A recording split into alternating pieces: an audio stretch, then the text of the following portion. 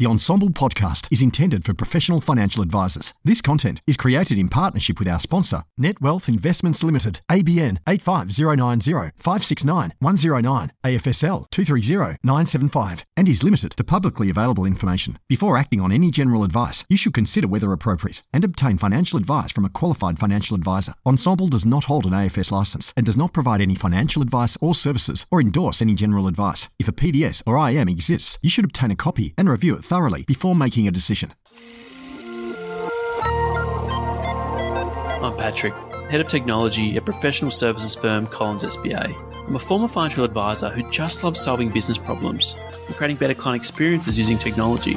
Join me each week as we unpack the tech on offer to advice professionals, stay on top of tech trends, and help you break free from the analysis paralysis experience when building and maintaining a great tech stack.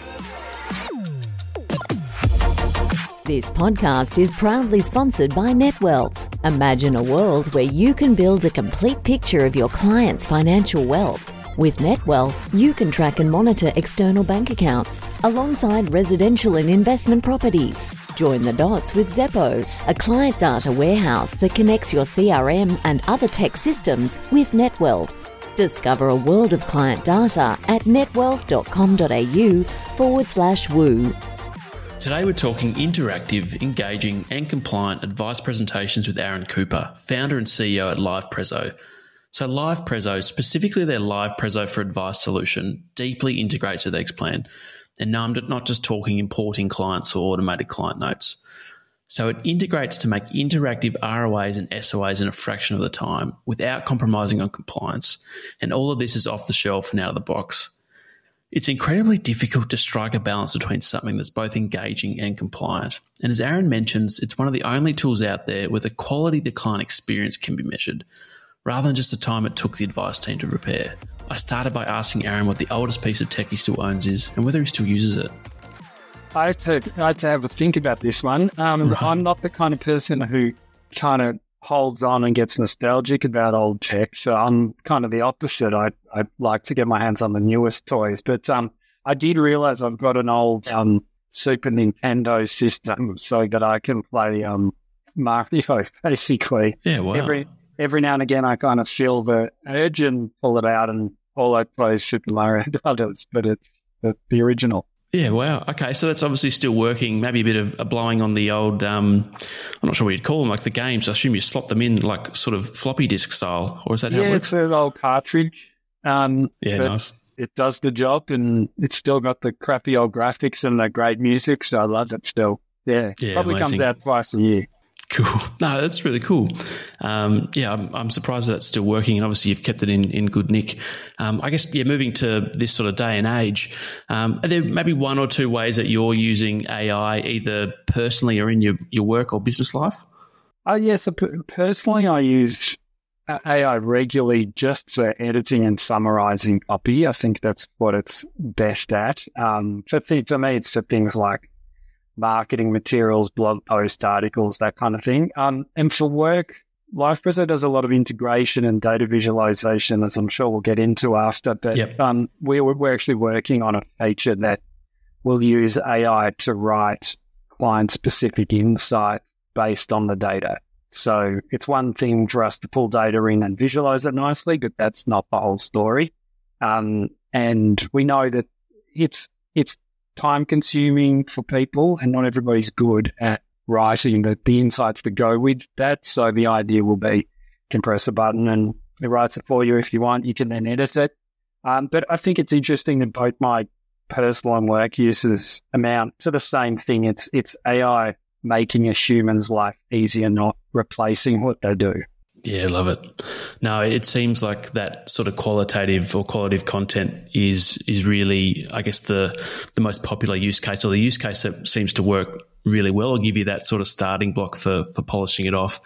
Yep. And yeah, just picking up on your comment there about um, you know the commentary on the sort of data visualization. Like, I think we we tend to see all these magical statistics around how you know more than fifty percent of people are, are visual learners, but um, you know, 80 was it 83% of statistics are also made up. But the fact that you can um, have those you know every learning style is catered to so you can actually have something that's explaining the the visuals and you can cater to all learning styles and also yeah have ai tell that story of that data i think is really powerful too so absolutely i guess getting into LivePreso as a product and maybe I've probably jumped a little bit ahead i'd love to know i guess your origin story aaron and then how um, you've ended up uh, with LivePreso as a product and how that came to be so, so first of all, I'd be lying if I said we had even contemplated this industry when we started.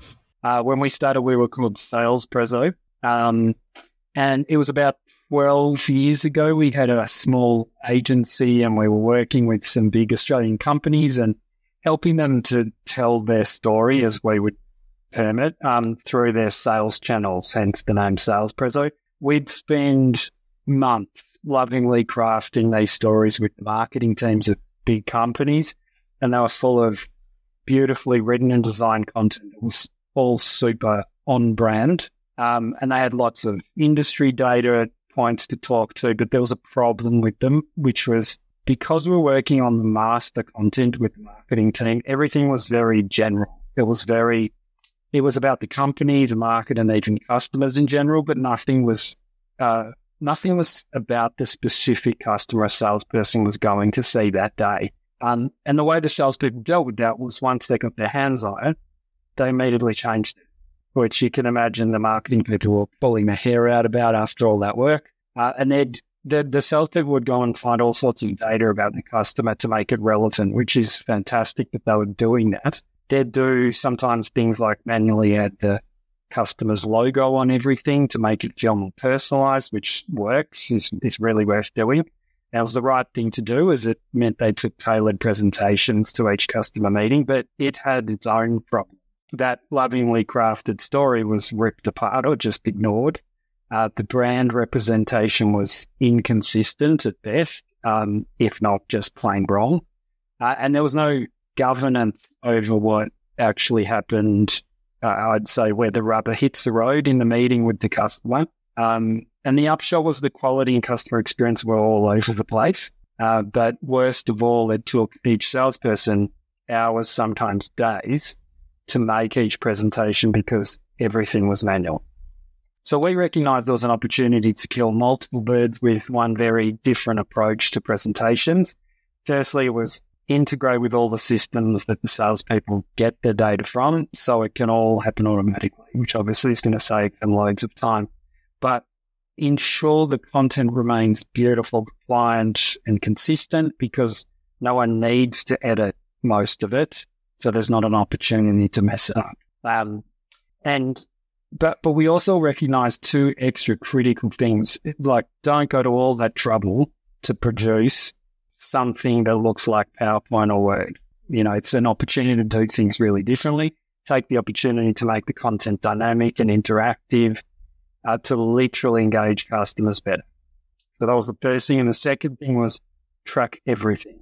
So the, again, because we're doing things in a much more digital way, we, we could do that, but it meant the business knows what's presented by who to which customers, uh, but also what's viewed by customers in their own time when you share something with them, an interactive version with them. So we're at the time we were working with REA, real estate.com.au, um, and we mentioned this idea that we had to them, and they essentially bought it on the spot, but we hadn't built it yet.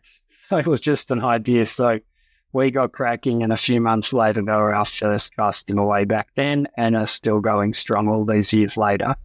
Um, and we now have customers in other industries like Booking.com, Asahi, CB, and Flight Centre, but also Van Eck and Vanguard in a more adjacent industry.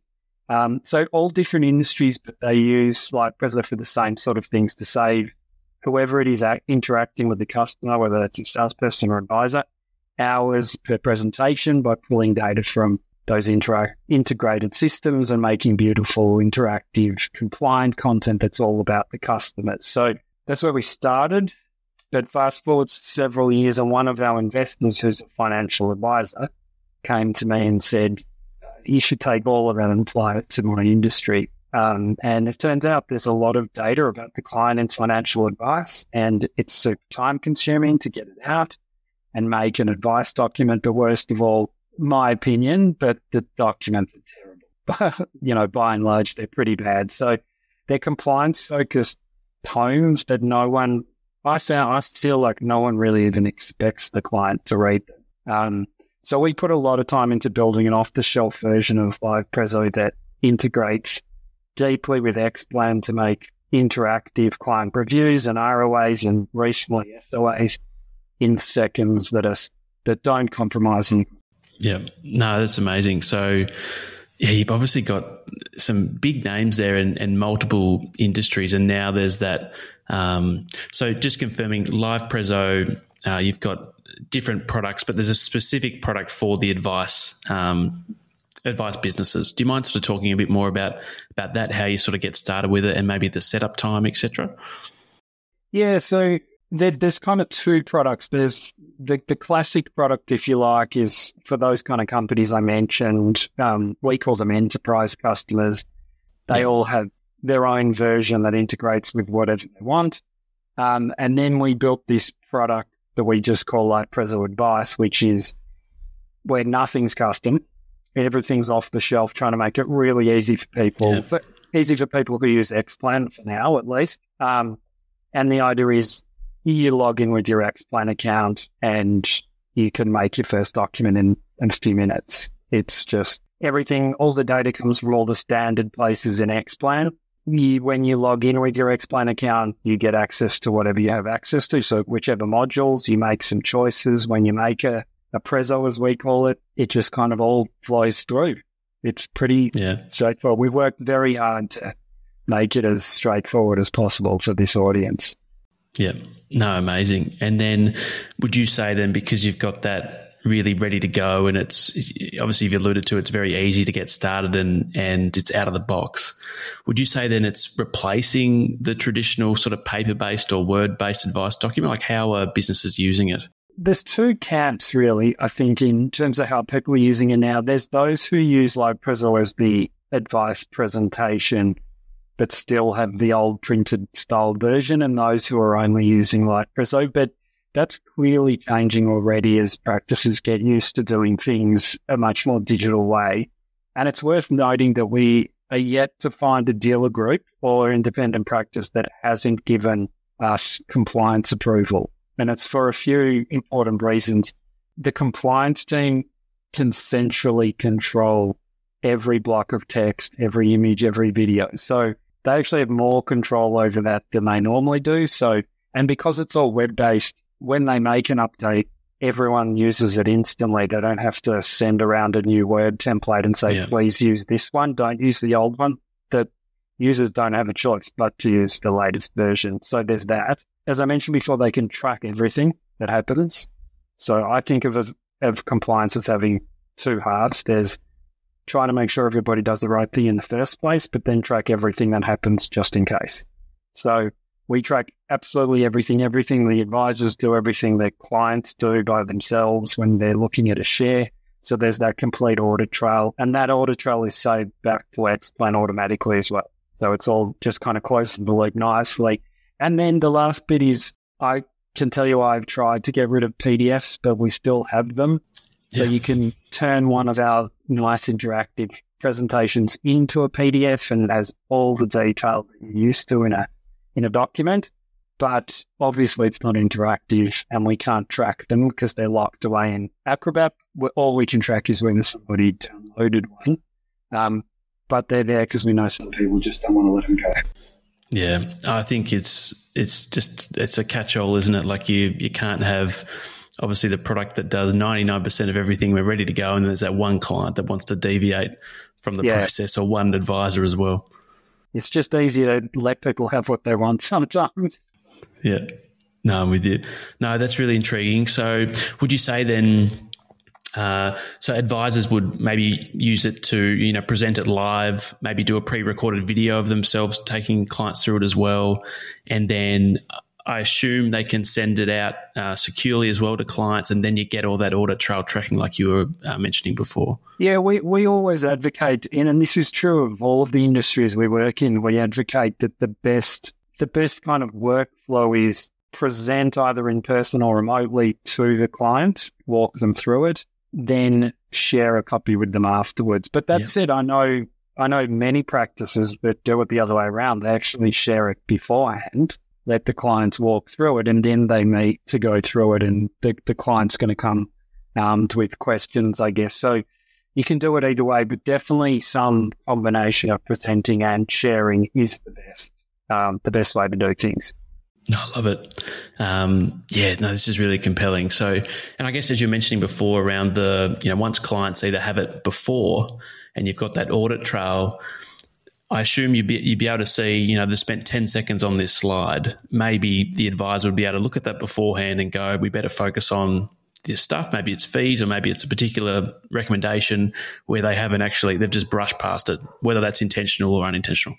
Yeah, you get, you get every time a client views the share, um, you get a little report sent by email, and it's also in our in the apps that people use. Um, shows every slide that they looked at, how long they spent on which on the slides, which slides they didn't look at, um, and then there's kind of reporting at a practice level where you can compare.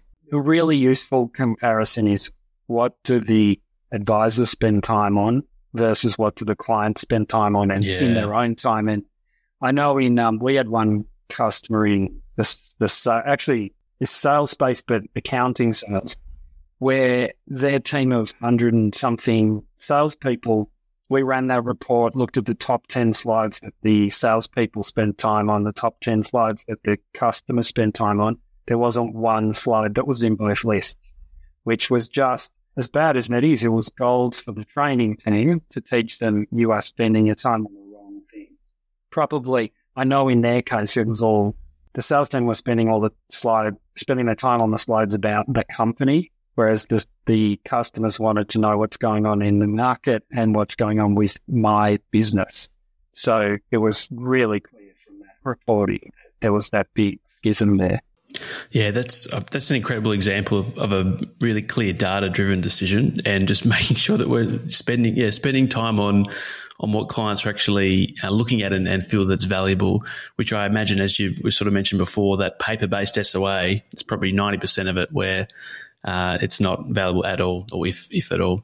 And then just on that, like, would you say, like, who who would be the typical user in a in a financial planning firm? Obviously, the advisor is presenting it, they're reviewing it, etc. But are you giving the keys to your maybe power paraplanning team to actually create the document? How does that sort of work? The, the typical users of are paraplanners and advisors, but we also get practice managers having their own account. It just depends on the practice and setup. And I touched on this briefly before, but we've tried really hard to match the product to the way practices work. Um, so we know changing years of ingrained behavior is tough. Um, yeah. So the last thing we wanted to do was force people to change their own way of working to suit us. Um, so it definitely depends on who in the practice has what Xplan access because you need access to the modules to get the data for the documents. But oh, the course, typical workflow is Paraplanner logs in who has all of that module access and they create the document or Preso as we call it and hands it over. There's a function in the, the software to hand over something. Um, and you hand over to the advisor who is then the person who presents and shares typically. But if an advisor has all the access, then they can do it all themselves if they want. Perfect. And I assume because you've got that sort of deep integration with Xplan and it's coming out really sort of templated but client specific, you would not only be seeing you've got compliance enhancements, you've got client engagement enhancements, but you're also saving a truckload of time too. Would that be fair? Yeah, it's. I mean, the the, the stats we've got from the everyone we've been working with for the last few years on this. Um, if you take a typical ROA, what we've been told is the time saving is has moved them from five hours to five minutes. Wow. Which has a nice ring to it, but it's actually based on um, practices telling us that on average it was taking them five hours, obviously sometimes more or less, but that's typical time for a paraplanner to do an X merge, then mess about in Word and fix things and add things or whatever. And with like Preso takes about five minutes on average. So huge time saving. But the interesting thing with that is we talk about time saving all the time because it's it's very important, but mm. also because it's really easy to measure. That the feedback we tend to get is love that it saves time, but the reason I'm using LivePreso is because of the client experience, which is everyone knows is important, but it's almost impossible to measure. So it's um, yeah. we, we kind of stick to the time saving because it's an easy one, but it's definitely not the most important thing from what everybody's telling us.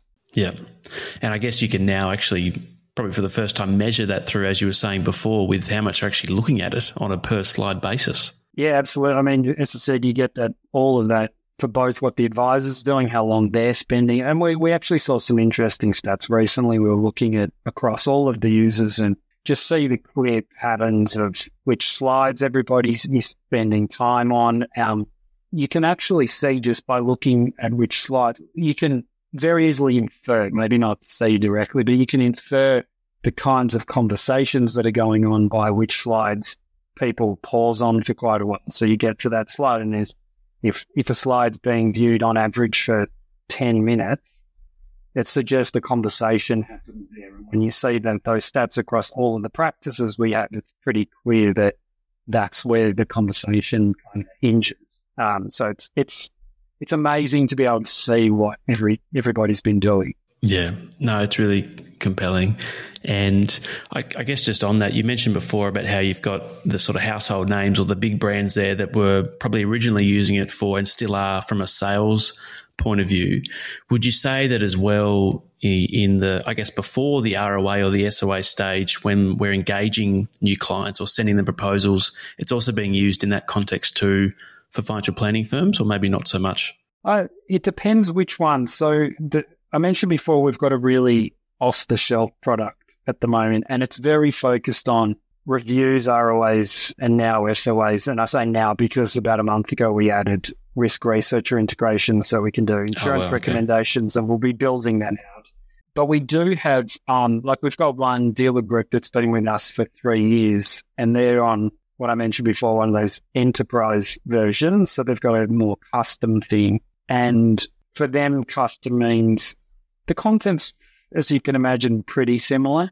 Um, mm-hmm. What's different is they have an integration with Xplan and Dynamics. So with our software is integrated with both of those to make the whole workflow work. But to get back to your question, they um they also have different use cases. So they don't just have the documents like what we have with the other products, but they have stuff back in proposal time. They also have, we have a version of the platform that we will bring to the off the shelf product that means that their clients can log into the client portal, click a button whenever they want, and get a subset of a client review doc, Preso, whenever they want.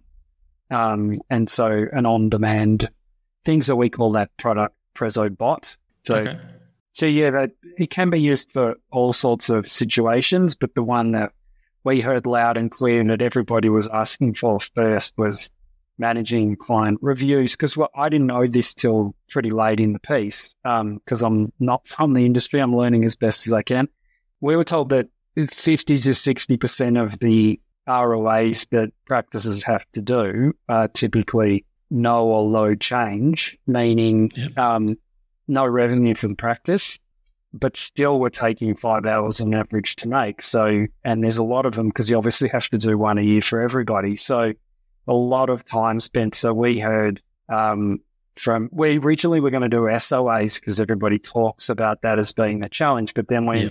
Did some more research and realized actually there's a much bigger problem to solve first with the reviews, get them to the point that they're out the door in a five minutes um, and then we've turned, we've now turned our attention to the SOA side of things.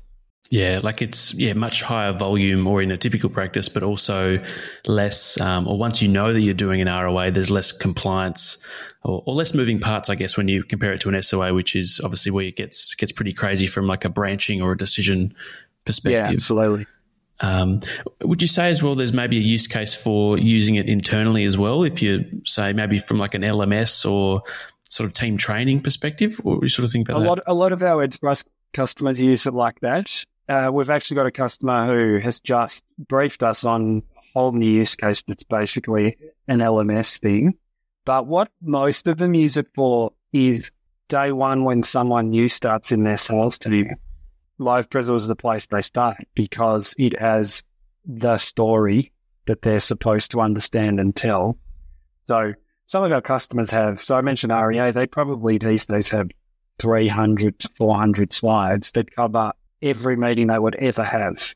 So from a brand new customer that REA don't get many of because they kind of have everybody already, um, all the way through to renewals and price changes and um, any anything in between, and all the extra products that they've added over the years. So having that as the resource for a new starter is gold because it's it's not only the place to learn about it, but it's the thing they're going to use to sell it.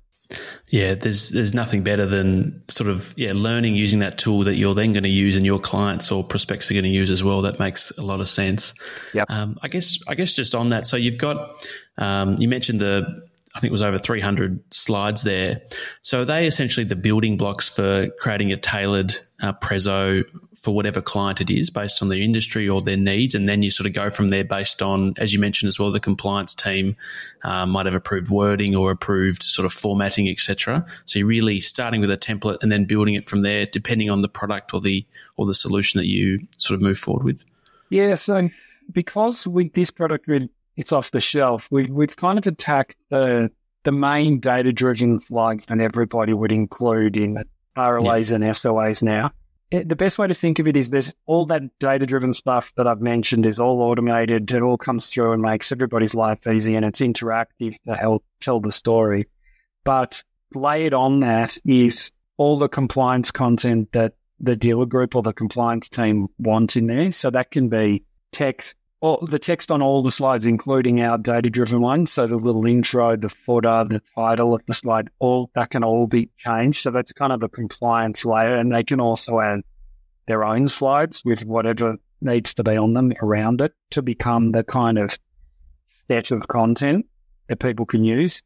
Um, and then the third layer is the practice or the paraplanner making the document can add their own content to that. So it's this kind of three layer thing that all comes together to ultimately make the document you're going to use. But one thing that's quite different to the usual word templates is um, I get asked this a lot um, when people are asking about the what we're going to do with SOAs. Um, there's no in our world. There's no ROA template and SOA template. It's one set of content, and you choose what you want to use for the given meeting or interaction with the client. So you you can stick to very formalized sets of content, and we've got a feature that we call presets that allows you to do that to cut a set of slides for a specific situation. But if you want to also include a slide on something else that you don't normally include for whatever reason, you can just do that really easily. Like a good example of that is um, it's not all data driven content that we do. So we have um, a bunch of educational content um, specifically around insurances because one of the things I learned pretty easy as as a client of an advisor was I had no idea of what TPD was, for example. So we have a bunch of videos that come with it um, that explain the different types of insurances, and so you can use our ones out of the box, but um, and we actually just um, borrowed them from Iress. Um, but you can use our ones out of the box. But if a dealer group or practice has their own versions, and I know quite a few do, they can replace them to become the educational content.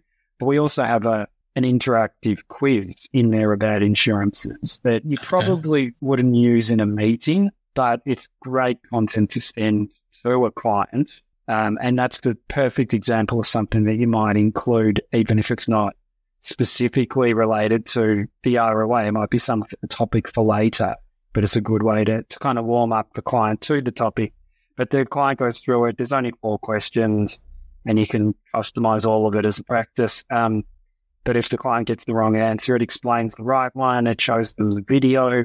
Um, and as I mentioned before, we track it. So if there ever was any question over whether the client um, had been educated, you'd be able to say, well, actually, both people, the client and the partner, both looked at it for seven minutes each doing the quiz and watched the video or whatever. So it's it's not just the data driven stuff. There's some of that other kind of storytelling, yeah. educational stuff in there as well.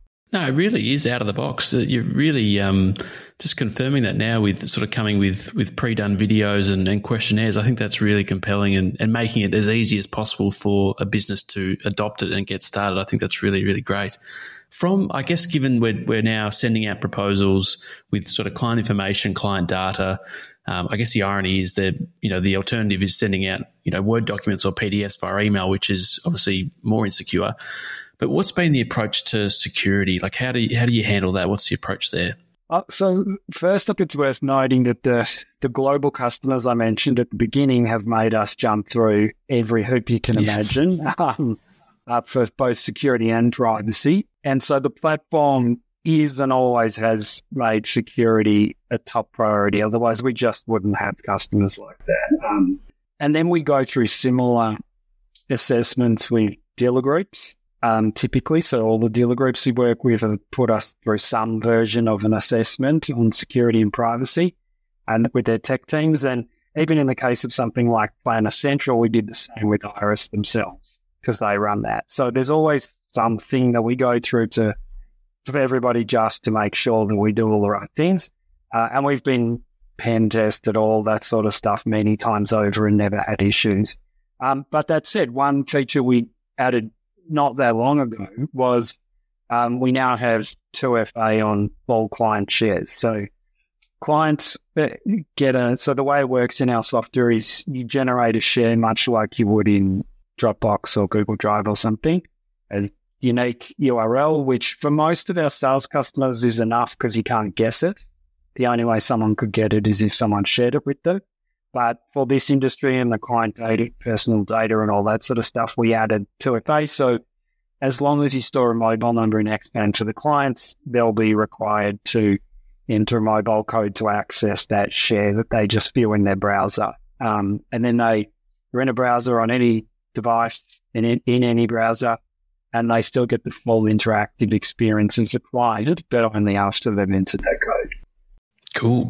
And as we sort of said, you're making it even easier too when you've got you've already got the mobile number in Xplan. You're not having to rekey that, risk yep. the sort of double entry errors there. That's amazing. And then you mentioned too that even the integration partners themselves want you to go through security testing to make sure that the data that they're sharing with you is kept safe and secure too. Um, Which is, look, it's fair enough. It's, you know, yeah. it, it's important data and we, we don't look at it like it's a, it's a pain that we have to go through. We actually look at it as, as part of the product that it is. It takes security seriously and it, um, we take data, everything to do with data seriously and compliance. I, as I mentioned earlier that that investor of ours said we should be in this industry. And I just didn't understand how it made sense. But all the stuff we did that I mentioned at the beginning that was about brand consistency turns out is actually compliant, just you know, with another yeah. name. So yeah. we actually had unknowingly built a really powerful compliance engine. So when we turned our attention to this industry, it kind of just made sense. Yeah.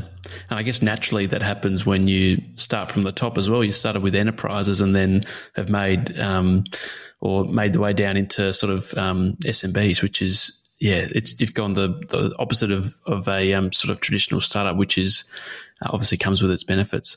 And then I guess sort of touching on integrations, we've we've talked a lot about that sort of out of the box Xplan integration, and then you've yep. got the custom ones with the enterprise version of the tool are, are, businesses integrating their CRM? What are some other sort of examples of, of common integrations that you see when when maybe the you know enterprise version of the tool is being purchased? With enterprise, CRM is always the first thing.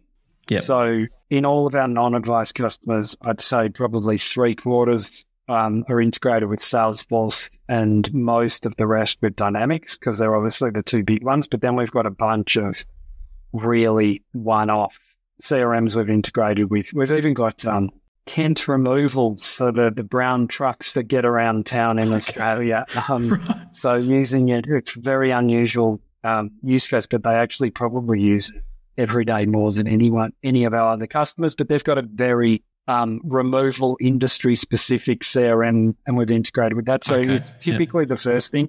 The second most common thing is um, BI tools.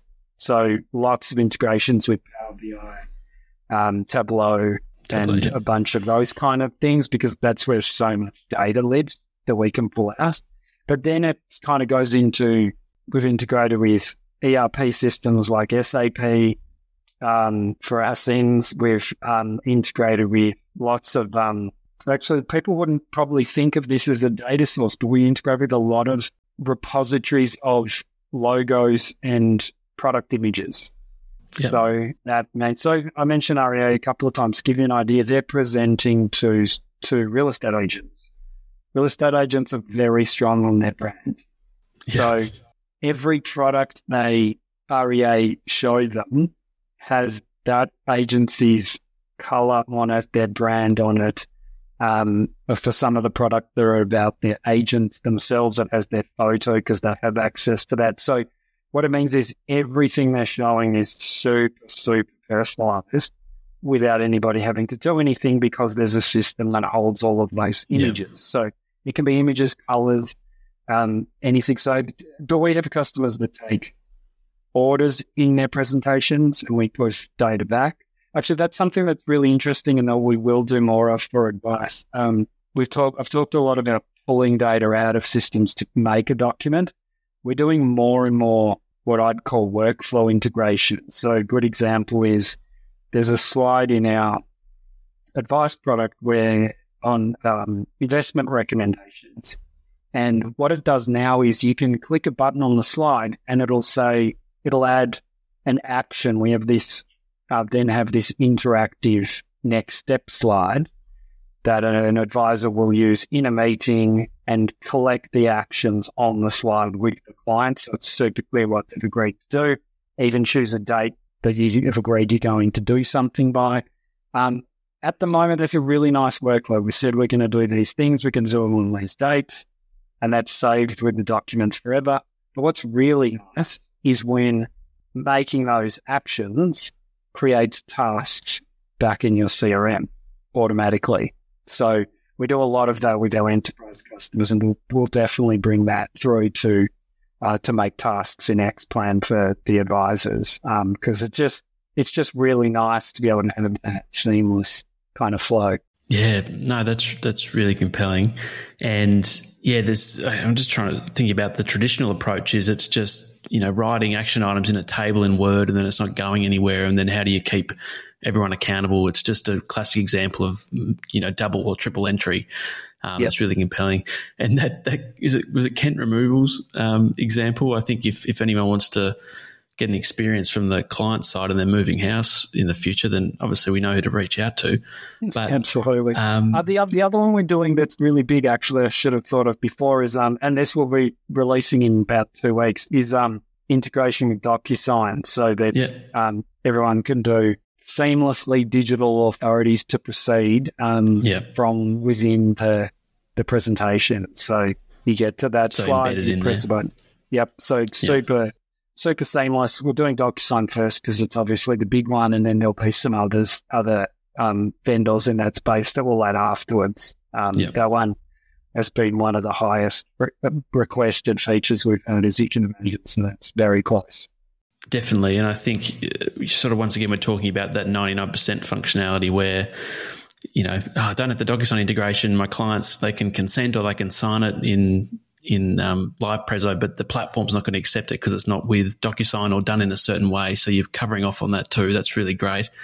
Um, you mentioned it before, Aaron. I think it was PresoBot, and I wanted to ask you about sort of what's coming up from a roadmap perspective, and yeah, what's exciting you sort of longer term. You've mentioned the other things too around sort of workflow, etc. But what's got you excited about the roadmap and what's coming up? Well, there's a few few kind of levels to it. I mentioned the AI, your question about AI at the beginning. We'll be adding the automated insights, which I think will be super helpful for everyone. I mentioned DocuSign and uh, PresoBot for for the situations where you want to allow your clients to request their own documents. I'll be more likely to be very cut down version.